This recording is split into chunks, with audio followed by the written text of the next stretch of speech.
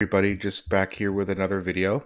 So it looks like uh, jagmeet singh is also making his rounds and apparently he's not very happy with the uh, so-called attack that the conservatives made on him uh, during their uh, recent ad. Now i guess you could say it was a verbal attack. I'm just kind of tired of every every time someone says something negative about someone even though it's true it's somehow an attack. Like it just making the other side sound um, sorry, uh, making the other side sound way more vicious than they actually are.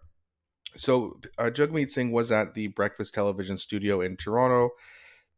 And I just have a little bit of this to play here. It's probably about halfway through the video, so it's about you know two minutes or just over two minutes. Uh, so we'll have a look at that, and then we'll talk about it after, like usual.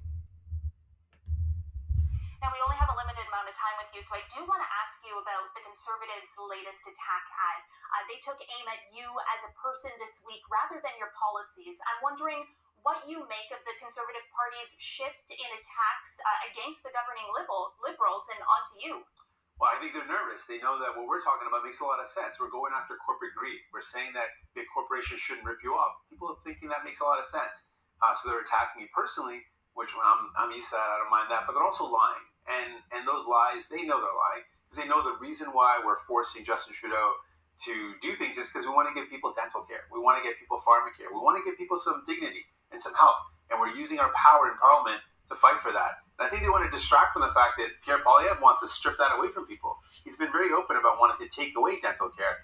And people are not receiving it saying, well, I don't want them to take away my dental care. That's, that's a bad thing. So now he's trying to distract with these type of dishonest attacks. But we're going to keep on fighting for people with respect, though, the Liberals have lost, you know, 20 points nationally, but your party doesn't seem to have brought in those disengaged Liberal voters. Take a look at the, you know, Toronto St. Paul's by election. That recent by election, the NDP lost vote share, um, even though the NDP hold it provincially. So, what do you make of that?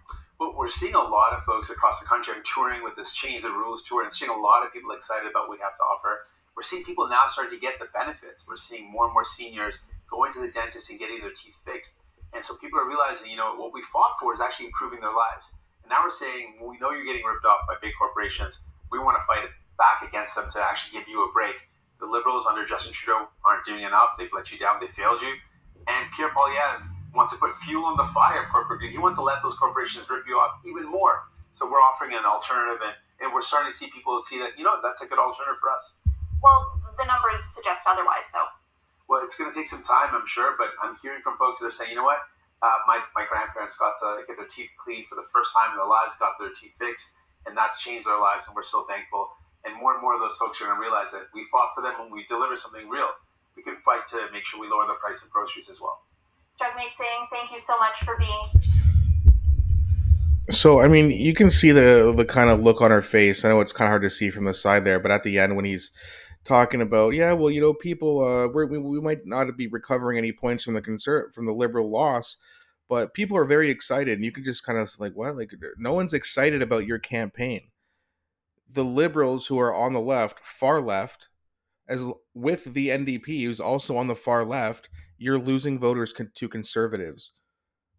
What's there to be excited about? I mean, it doesn't make any sense he should be i thought things would go a little bit better for him when people started leaving the liberal party in droves that they would go over to the other far left party but they're not. They actually seem to be getting really really tired of the far left. And view the conservative parties even though it's a right-wing party they're more center to right where the liberals and the ndp are just far left. And even a lot of liberal and ND, ndp mps would agree with that because they've made anonymous calls to journalists to you know news stations like this saying hey listen we've become too far left. We need to get back to the center or else we're going to lose the election.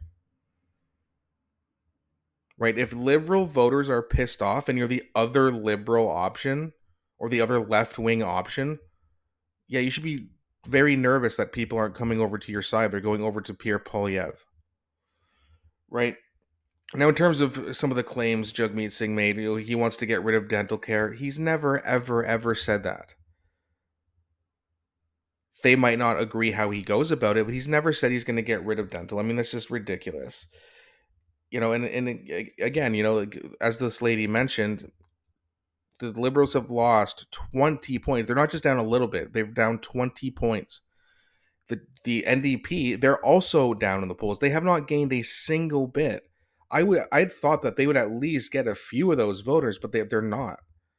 They're actually down in the polls too. I can actually uh see if I can show you that as well, where you can see. And these polls were done as of last Sunday by 338 Canada. So you can see here, I mean, 18%. I think last time they were at 17%. So I guess they're up one. Uh, their rock bottom was 15, so they're up three from that. But I mean, that's not going to get you anywhere you need to win the, the, election. Not to mention, a lot of these NDP votes are going to come from Hamilton Center, where I live, where there's a big population. But the popular vote doesn't matter. You got to win certain ridings. Yeah, he's going to win this riding probably. Not if I have something to say about it, but again, I'm only one person.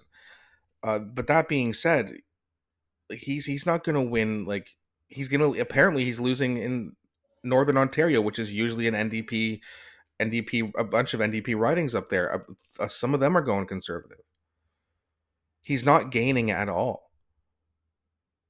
And you can tell like, every time he talks, it's just the same stuff. Oh, we're getting ripped off by the grocery stores. We're going to put a cap price on it, which no one believes he'll actually do. Every time the NDP gets in charge of any city, what happens? It becomes worse. They're not doing anything to help.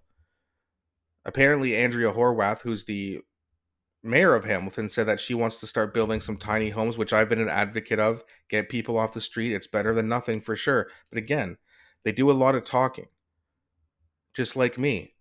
But I'm not a politician. I can't do anything about it. They can and they won't. They just pander. Now, again, you can criticize the conservatives for doing that in the past for sure. However, it's the liberals, along with the NDP right now, who is in power.